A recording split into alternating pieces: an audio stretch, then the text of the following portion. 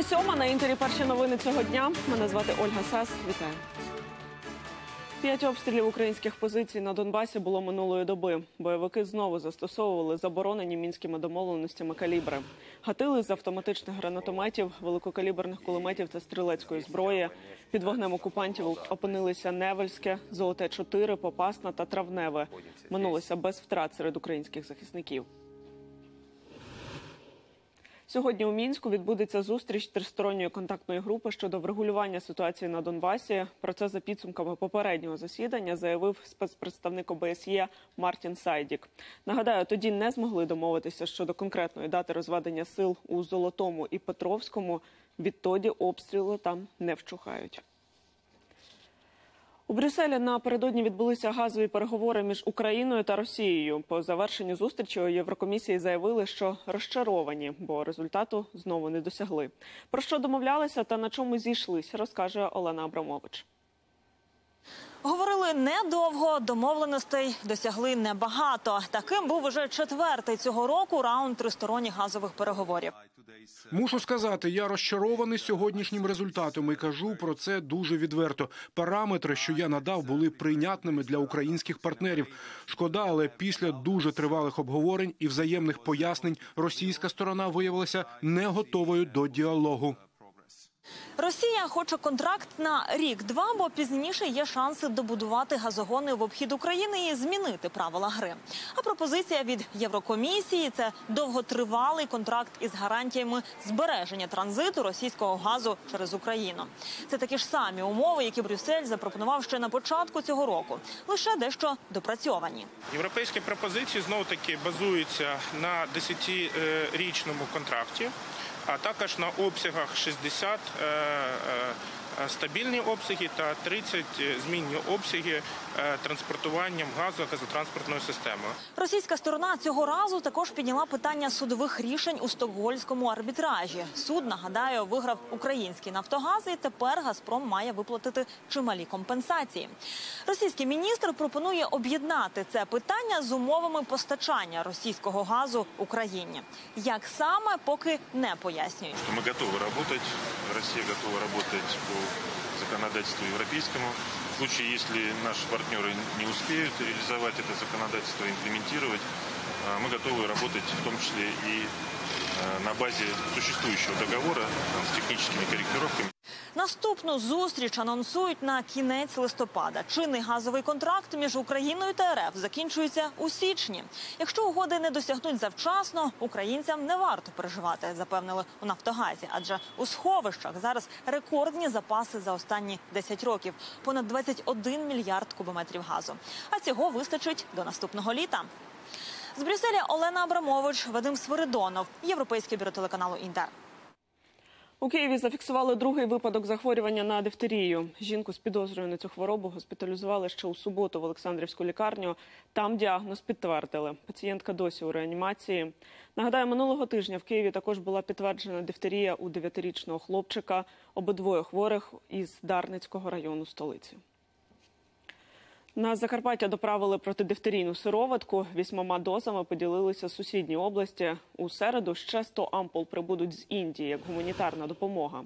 Ліки необхідні 15 студентам-медикам, які захворіли на дифтерію. Їхній стан наразі задовільний. Водночас до медиків звернулися ще двоє іноземок, які контактували із хворими. У дівчат підвищена температура та біль у горлі. Їхній діагноз стане відомим після лабораторних досліджень. Ми забрали в трьох регіонах по три вакцини з Чернівців і е, Львова, і дві із Івано-Франківська. Хмельницький і Тернопіль нам офіційно написали листа, що на жаль вони не можуть уже дати вакцину, тому що на п'ятницю у них також реєстровані випадки дифтерії. Тобто ми не забрали. Але сьогодні також машина відряджається на Київ, і на обратній дорозі вона забирає іще дві сироватки із е, Житомира і одну із Рівного. Ми маємо станом за 9 місяців. Це є дорослі охоплені приблизно на 34%, а підлітки трошки більше 50%. Я закликаю всіх вакцинуватися. Вакцина є в достатній кількості. Одна людина загинула, троє зазнали травму у ДТП на Івано-Франківщині. Серед них десятирічна дівчинка. Пригода сталася неподалік села Криховичі. Легкова автівка зіткнулася з мікроавтобусом. Її водійка загинула на місці. Травмовані три людини з мікроавтобуса. Їх ушпиталили. Десятирічна дитина в ре- реанімації у тяжкому стані. Величезний арсенал зброї виявили правоохоронці в Олексія Титова, який улаштував стрілянину в центрі Харкова минулої п'ятниці. На його дачі знайшли гранатомети, кулемети, протипіхотні міни, тисячі набоїв і навіть вогнемет. Нагадаю, Титов відкрив вогонь по людях на паркувальному майданчику харківського супермаркету. Убив свідка у справі про загибель екс-депутата Держдуми Дениса Вороненкова. Ще одного чоловіка поранив. Оточений поліцією нападник підірвав себе гранатою. Правоохоронці підозрюють, що Титов міг бути професійним кілером і нині перевіряють його можливу причетність до інших гучних убивств. Це один з найбільших. Да. Знаходились недобудований будинок, дачний будинок недобудований. Дійсно, арсенал глобальний, і ми, враховуючи те, що там є, ми будемо прив'язати до тих кримінальних проваджень минулих років, убивств і таке інше серйозних вбивств для того, щоб визначити, а чи немає і цей арсенал, і господарі цього арсенала, бо він там не один. Ми про це теж розуміємо. І телефони, які там вилучені, і, да, і телефонні книги, і записи, якісь там були, номери телефонні. Ми працюємо над цим. Новий російський президент так Дональд Трамп назвав Володимира Зеленського. Очільник Білого Дому обмовився, коли коментував журналістам ймовірність свого імпічменту через телефонний дзвінок українському очільнику. При цьому зробленої ним помилки господар Білого Дому навіть не зауважив. Коли я опублікував розмову, я підірвав дії шифа. І як вишенька на торті, ви знаєте, новий російський президент, хороша людина, виступив із заявою. Нічого не було, не було тиску на нього, геть нічого. Палата представників Конгресу Сполучених Штатів уперше голосуватиме за резолюцію щодо імпічменту Трампа цього четверга, 31 жовтня. Про це заявила спікерка Палати представників США Ненсі Пелосі. За її словами, ухвалення цього рішення дасть змогу отримати всі документи, необхідні для належного розслідування дій президента, а також спростує звинувачення Трампа щодо незаконності процесу, який проти нього ініціювали конгресмени від демократичної партії.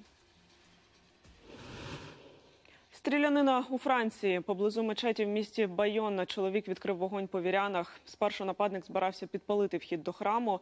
Коли його спробували зупинити, взявся до зброї. Двох чоловіків ушпиталили з вогнепальними пораненнями. З місця інциденту зловмисник утік. Пізніше його затримала затримала поліція.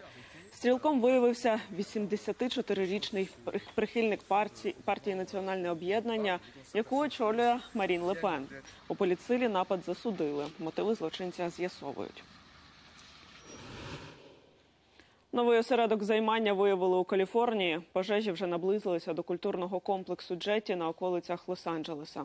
Там розташовані маєтки відомих акторів і бізнесменів, зокрема колишнього губернатора штату, актора Арнольда Шварценеггера. Він був змушений полишити свою оселю. Загалом евакуювали 180 тисяч людей. Пожежі в Каліфорнії вирують майже тиждень. У штаті оголосили надзвичайний стан. На одному подиху турецька спортсменка встановила світовий рекорд із фридайвінгу. Це підводне плавання із затримкою дихання. Шахіка Енджурмен подолала 100 метрів підземною печерою у провінції Мерсін без ластів і в крижаній воді. 34-річна плавчиня кілька місяців до цього тренувалася спершу в басейні, а потім і в підземній водоймі. Попри це, каже, наледве впоралася із хвилюванням. Я дуже хвилювалася, серце вискакувало з грудей. Так не має бути перед зануренням, але я ніяк не могла заспокоїтися. Для мене це вкрай важлива подія. Зараз я невимовно щаслива і горда. І поки що у мене все. Порцію свіжої інформації готуємо для вас на восьму. Побачимося.